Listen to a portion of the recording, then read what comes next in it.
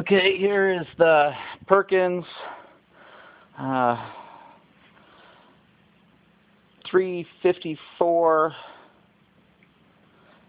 inline six turbocharged. I have on Craigslist. Currently set up for freshwater cooling and uh, it's missing the intercooler but it is turbocharged hot exhaust. So let's fire this bad boy up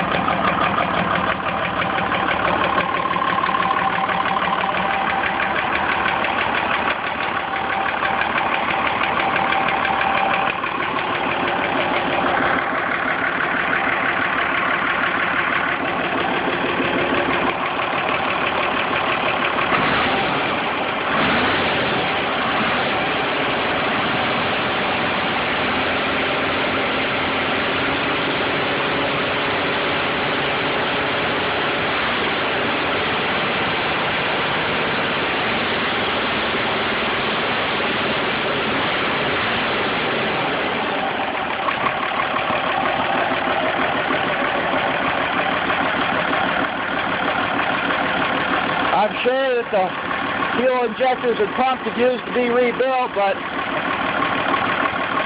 smoke's pretty minimal. Starts up good. And we'll shut her down. All in all, pretty good running engine. These things are renowned for how long they'll run. Normal rotation. I've heard people say that there's a reverse rotation on these, but I've yet to read or see one. Anyway, let's fire it up one more time. Here.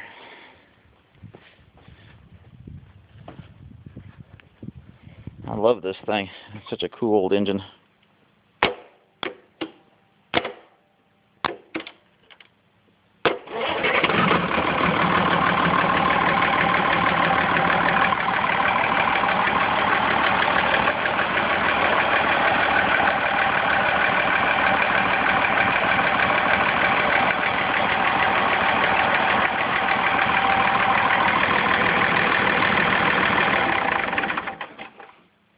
That's all there is to it.